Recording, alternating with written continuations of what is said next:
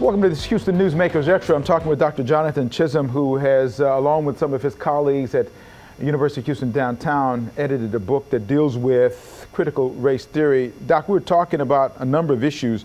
One of the things I want to ask you, you're a history professor.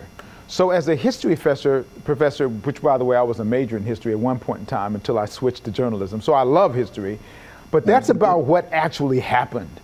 And so as you talk about what actually happened, does it make it better for people to get this information from you about race in America when you're dealing with, quote, history and truth of what happened in America?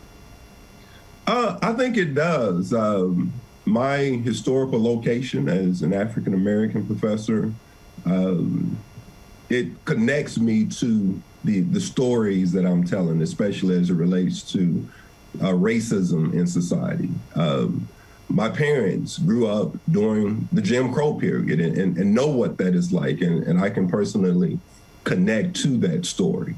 And as a teacher scholar, my, my fundamental goal and objective is to tell the truth, the whole truth, and nothing but the truth.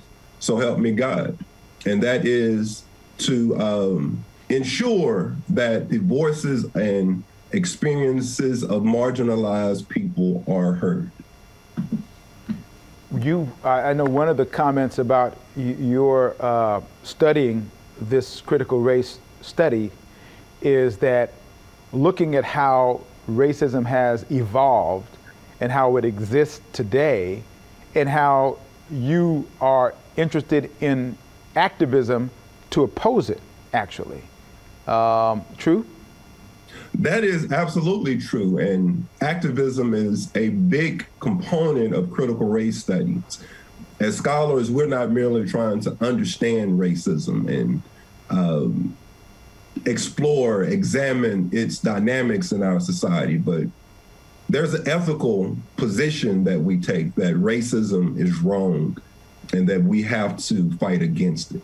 And I believe, and I think this is important, um, as it relates to the debate regarding critical race theory and those that advance it in schools and universities that we are not being un-American or unpatriotic, that activism historically has been a way of demonstrating a deep patriotism for this country, that we want America to live up to its founding ideas of liberty and justice for all.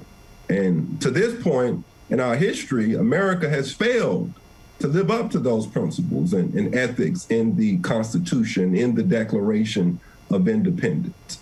And so, as a critical race scholar, I see myself as a patriot, as an American, someone that loves this country and, and wants it to live up to its fullest potential. Dr. Chism, thank you, sir. Appreciate your time. Good luck going forward. We want to make sure that people look at this Houston Newsmakers Extra and share it. And hopefully, a lot of others who maybe have been uncomfortable about race will be a little less so. Thank you, sir. Thank you.